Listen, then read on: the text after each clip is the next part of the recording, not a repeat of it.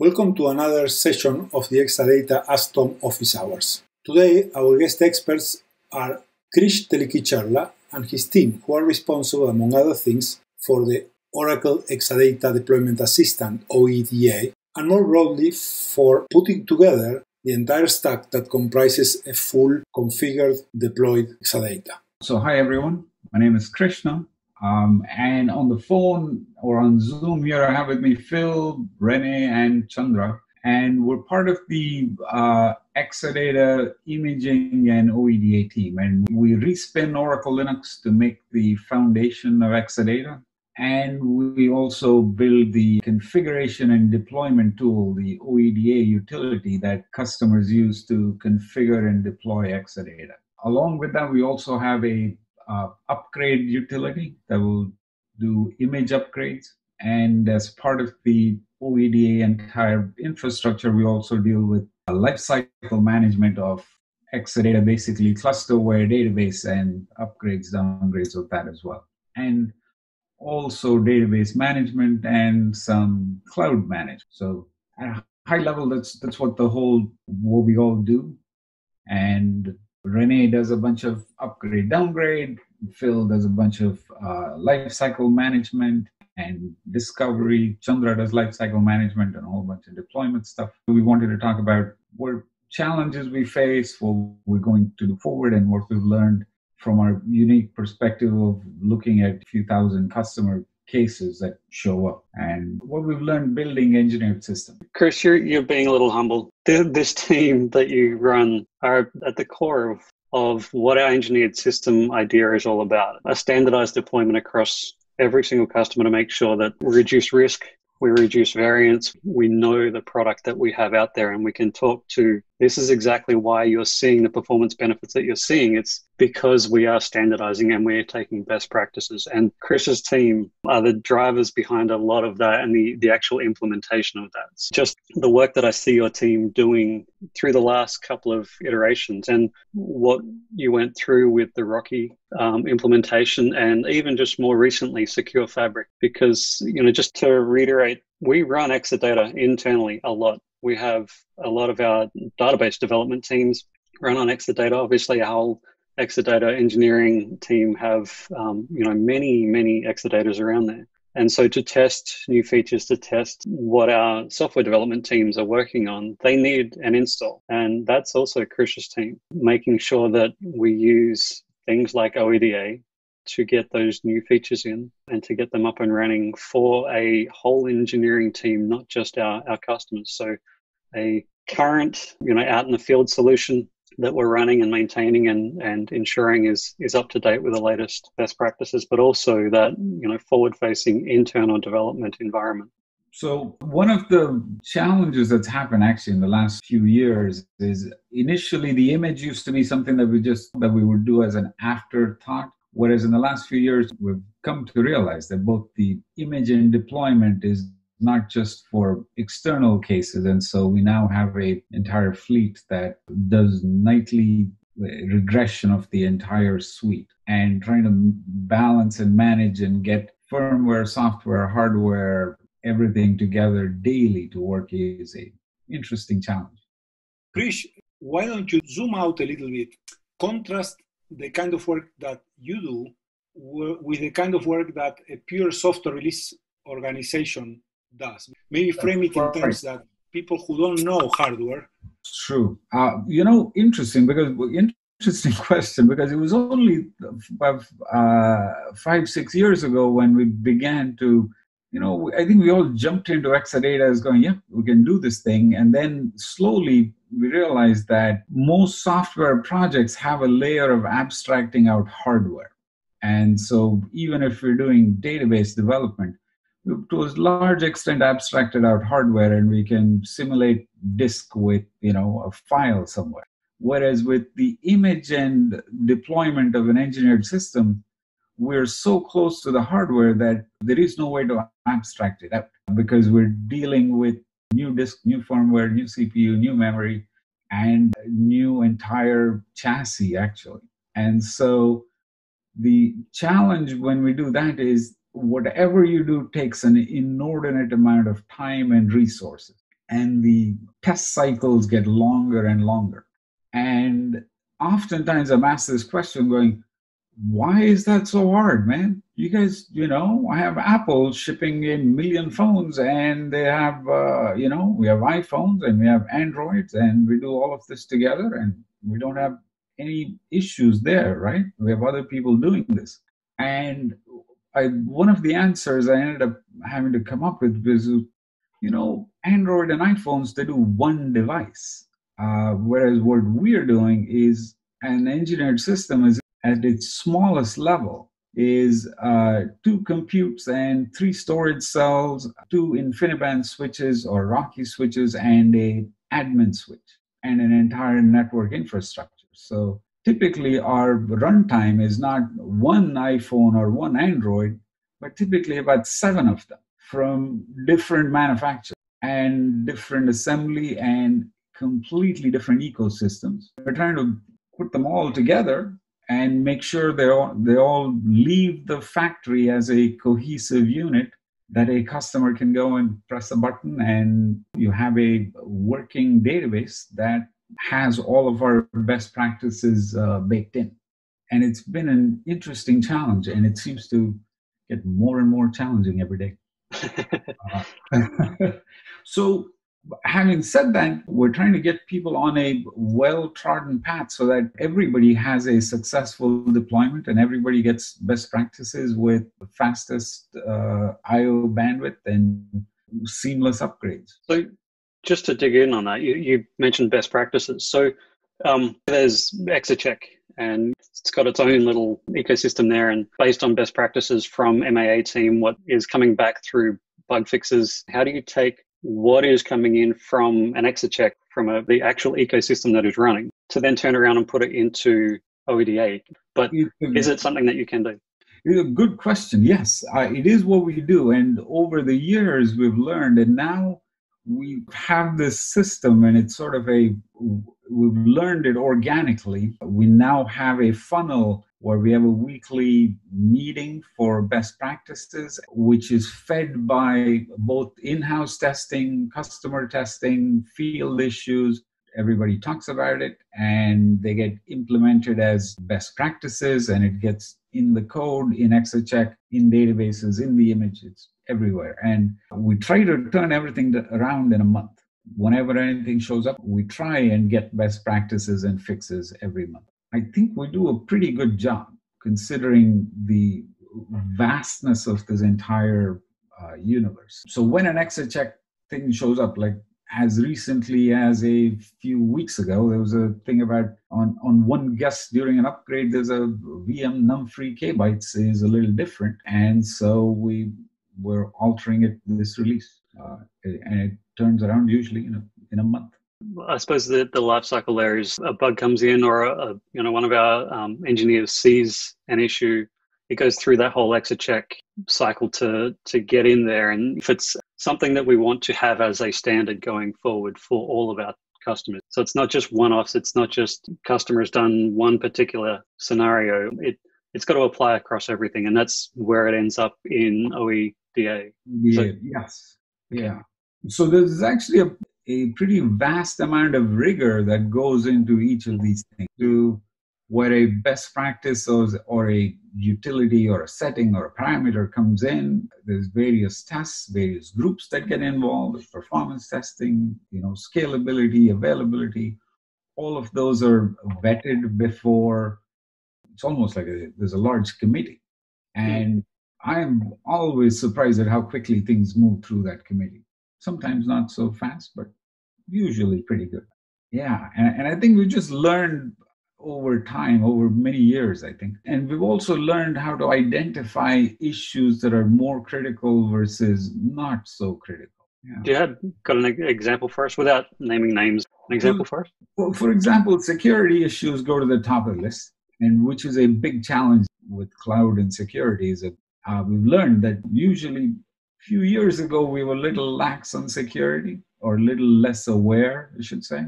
Yeah, and now a moment a security issue shows up, it it promptly gets to the head of the class. So yeah, you've got that ongoing piece that's coming in through this channel and filtering into OEDA, but you've also got new technologies coming in and new and enhancements that are, are happening constantly within the software team.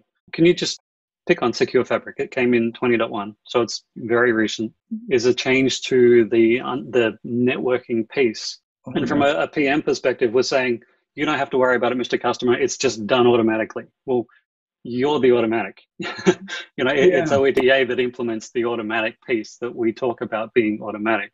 Sure. Uh, Secure Fabric uh, is basically security at the private interconnect layer on RoCE networks, on the uh, RDMA or converged Ethernet networks for the private net. And to a certain extent, it's very, very invasive. It is all over. It is on the RoCE switch. It's on the KVM host. It's on the storage cell. It's on the KVM guest. And it requires a tremendous amount of hand holding and plumbing to get it all aligned and for it to work. If even one net mask, IP, cable, port number, anything is out of whack and the whole thing doesn't work, which which is what you want really, because it needs to be secure it took us a few months to get the whole thing working. And we're now, I'm always amazed when I look at it and go, yeah, you know, right now, from a customer perspective, all that they have to do is provide one single VLAN ID and one VLAN for a cluster and one VLAN for a storage network. And you press a button, and the entire infrastructure just falls into place, and you have a secure cluster. And this works on initial deployment, and we take care of upgrades and rollback and multiple clusters. And we pretty much eat our own dog food in our cloud now. Uh, so it's there. Yeah, yeah. Rene, Kevin, like Chris was just telling about all the time that goes into validate and uh, the, the best practices that come in and all that. And I, I think we should also tell a little bit more about those best practices because all those validations we do for all those different permutations of like hardware and software, the biggest benefit of Exadata is that what we know we validate for our customers, right? And there's many customers that still try to make a lot of changes. Most of them are allowed. Uh, but there was like a couple of drastic changes that people now then try to do, which we are trying to say, okay, what you want to do uh, might be possible, but it might also be possible that it's not validated by us. And you better stay within what we have been validating over the years. And, yeah. and even if it's good feedback that we receive from the field or request, then of course we can take it and we can evaluate it and then we can make it part of our image, which then in the end will be validated again and vetted by everyone and can then become part of the image so everyone benefits. So that's something I really like to highlight. Yeah, no, like it, it does make sense.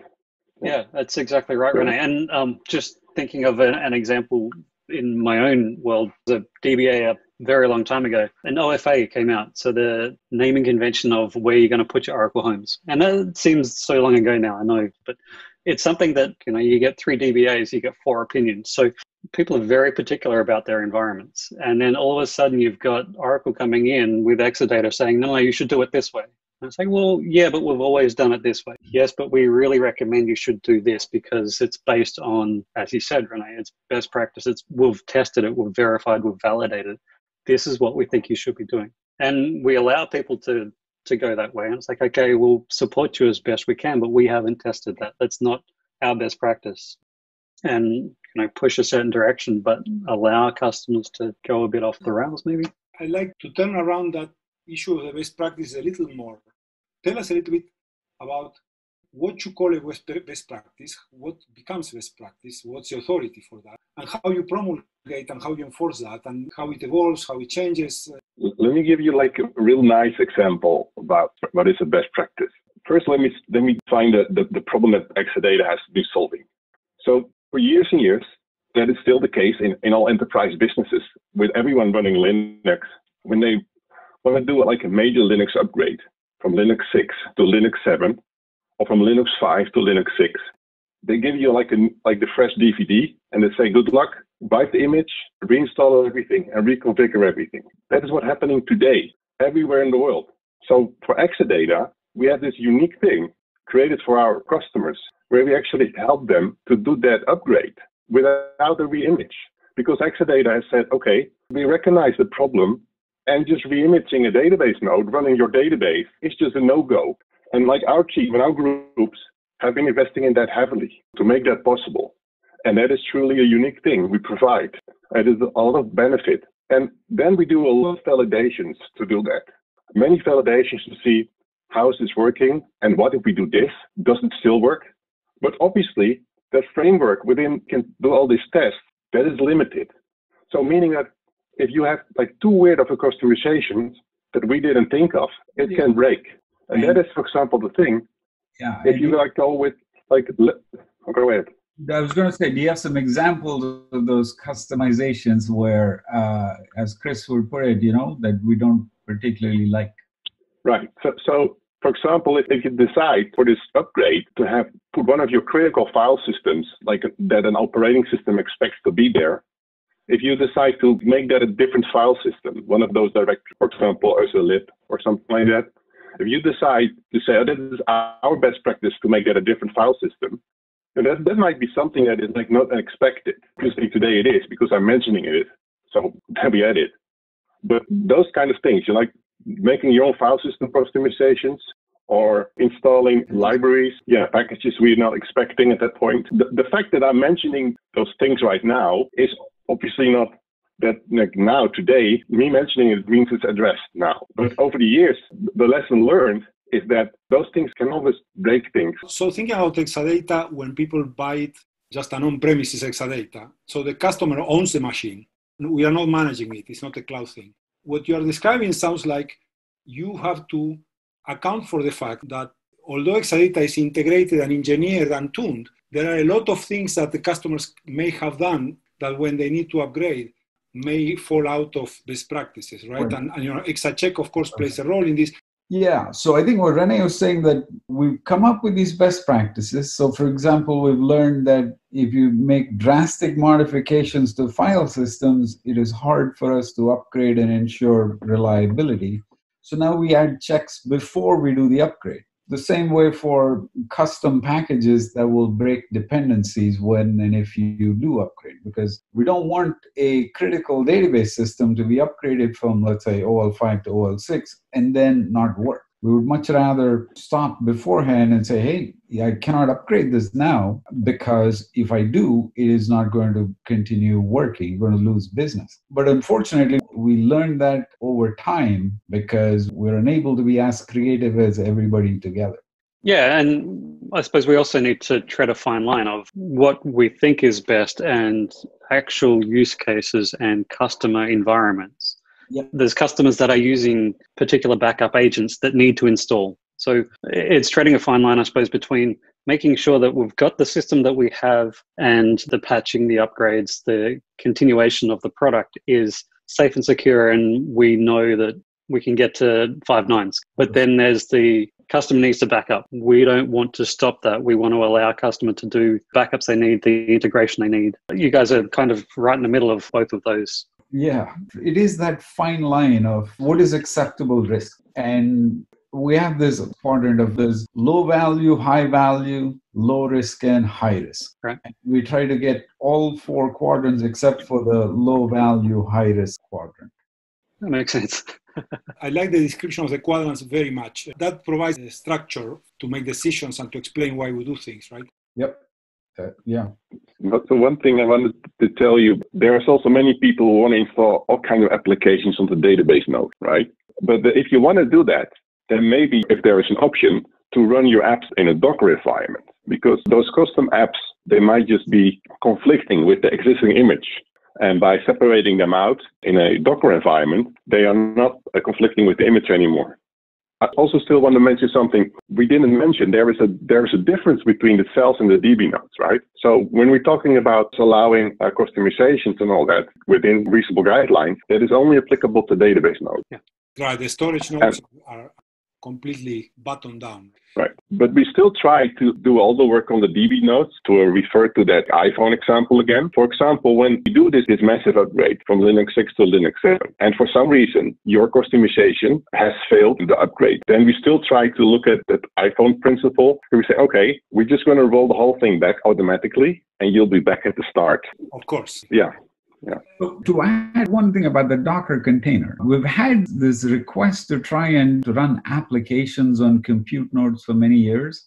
And uh, many years ago, we even though there was spare CPU on the compute nodes for some customers, the general consensus was that the compute node is designed for database workload and it's kind of expensive real estate to stick an application on it. Yeah. So you'd be much better off running the application well, somewhere. that goes back to my question earlier when I was saying machine belongs to the customer. Naturally, right. the customer comes up with things that they want to do because they pay money for it and it's plugged into their power and their network, right? So the comment about Docker and running applications on the same nodes leads, I think, naturally to the broader question of what role you play in the maintaining and, strengthening the, the security.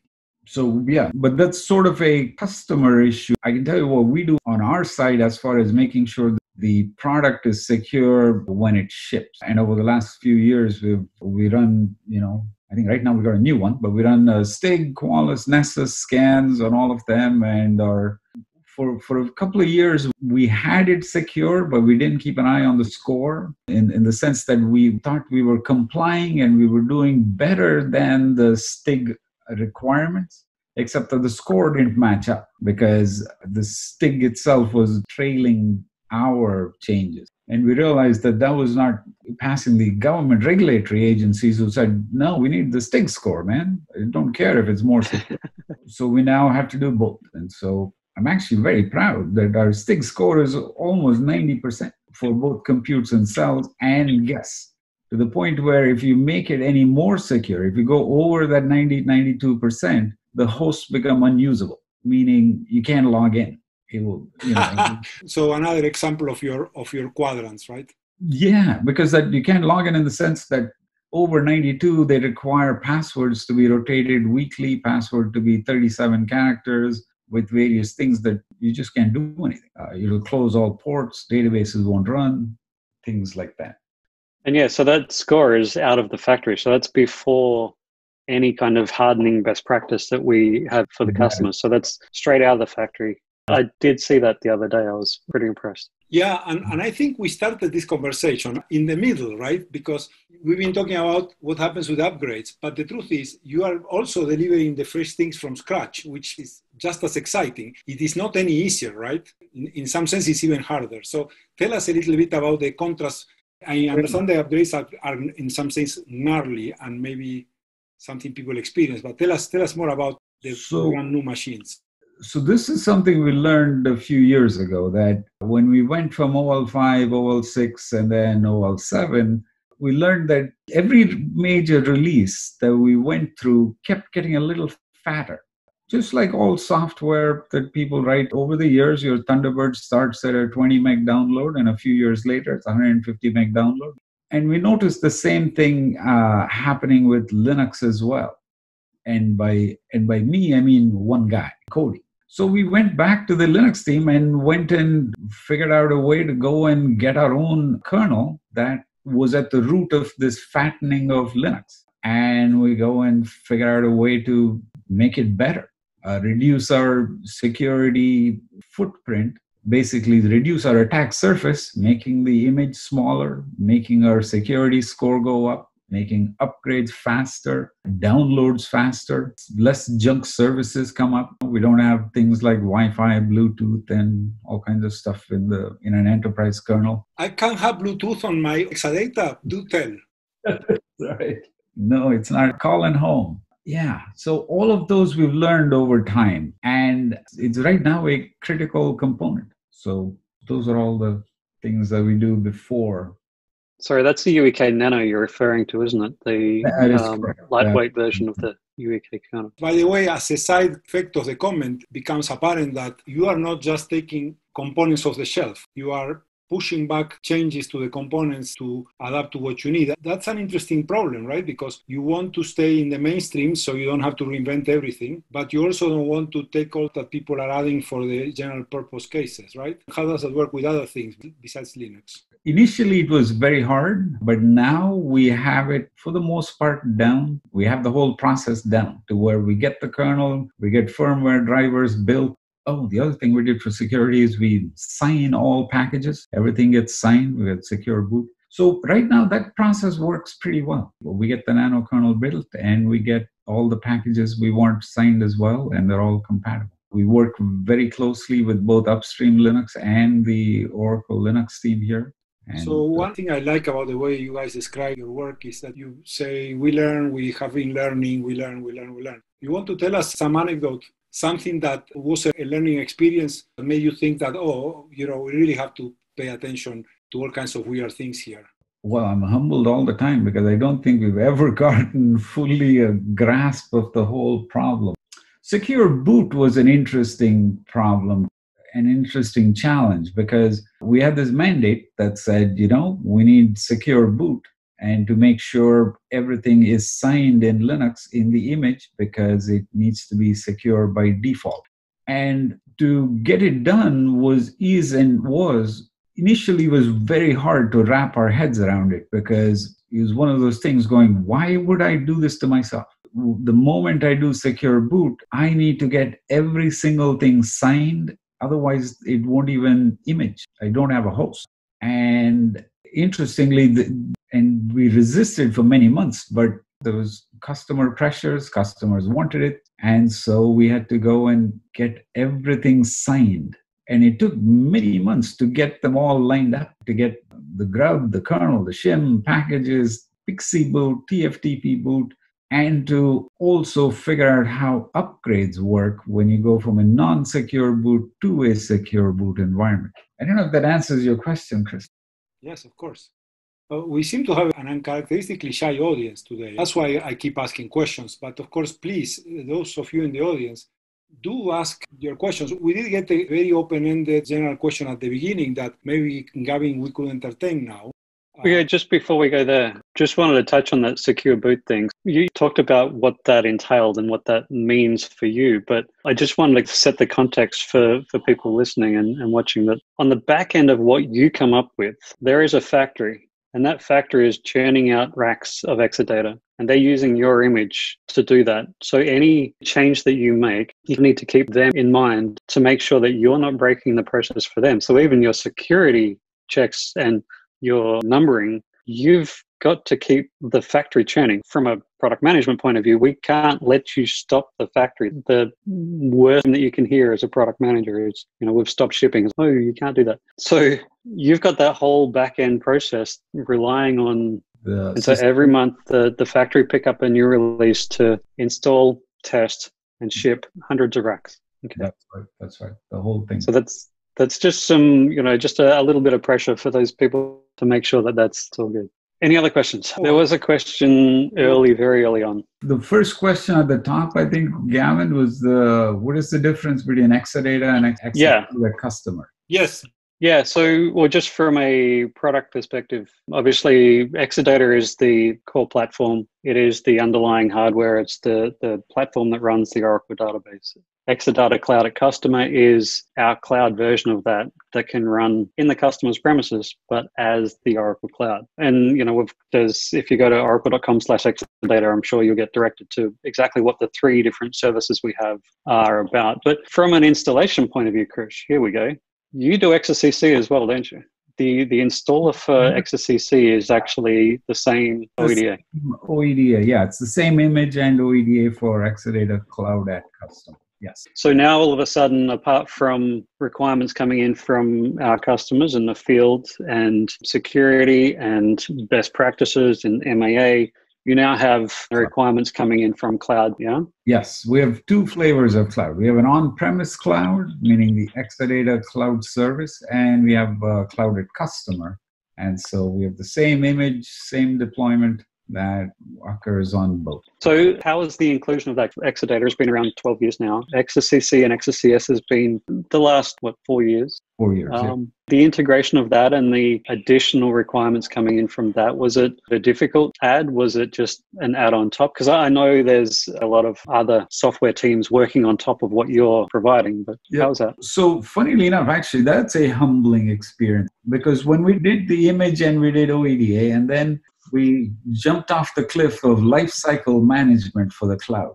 Because when we started doing cloud service and we have the infrastructure, we now have to do lifecycle management of these components. So we decided we do a OEDA CLI, a, a command line interface to do things like adding and removing storage cells, adding and removing guests, databases, database homes. And we have all of that being run as part of the cloud service underneath the covers. And we also turned this on and said, you know, for on prem customers as well, you have a lifecycle management utility.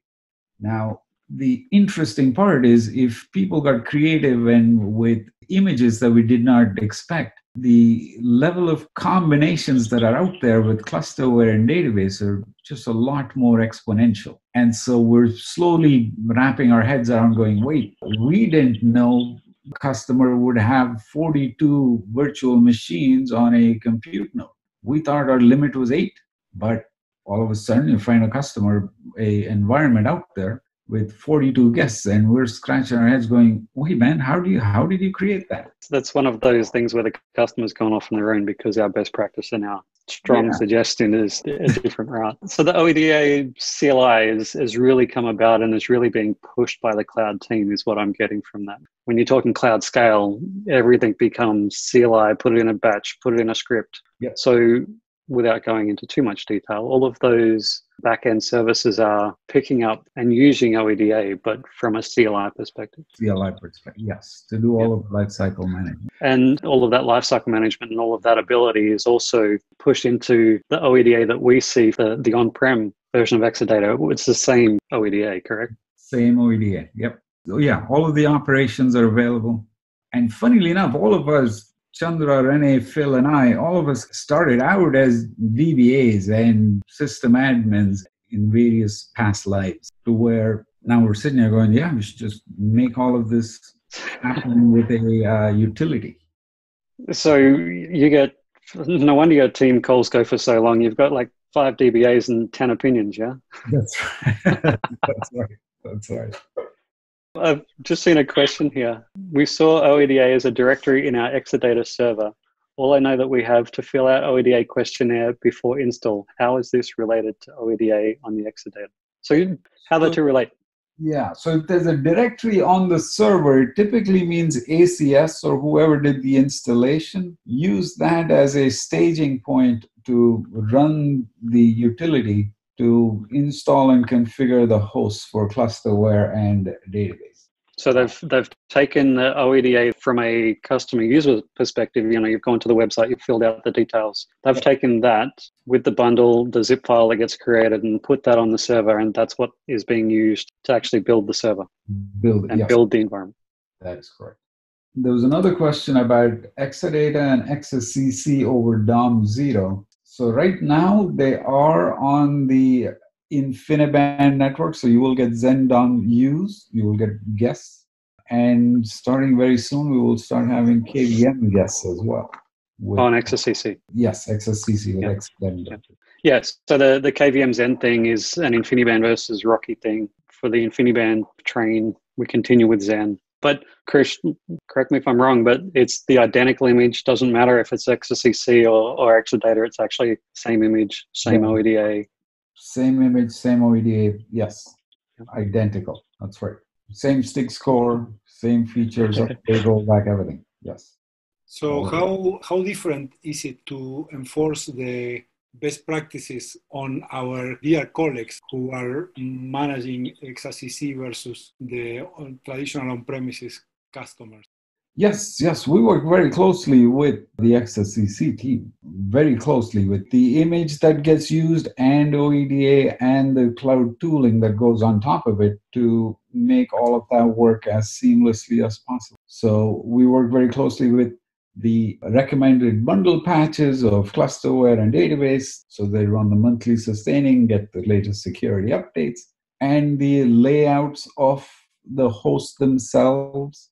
And the Cloud@Customer is an interesting hybrid because it's a combination of managed and unmanaged cloud in the sense that there are things that you're free to do on the compute nodes, and there is a utility and tooling that we provide to manage updates as well. And so there are things that you can do and things that when you do that kind of make it hard. If you if you have a database home and you delete it just because you can, then it becomes hard to upgrade it.